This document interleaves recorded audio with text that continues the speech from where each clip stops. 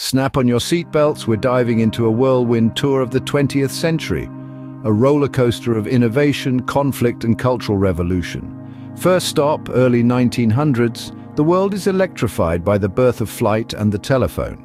Fast forward to the roaring 20s, jazz music and flapper fashion take the world by storm. Enter the 30s, a global economic crash leads to the rise of totalitarian regimes.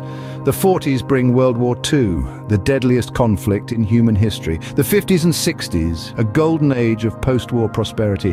Space becomes the final frontier as man lands on the moon. The 70s and 80s, a digital revolution begins, reshaping how we live and work. The 90s, globalization accelerates, the internet connects the world, and here we are at the dawn of a new millennium. The 20th century, a hundred years that changed everything. Until our next journey, a cheerio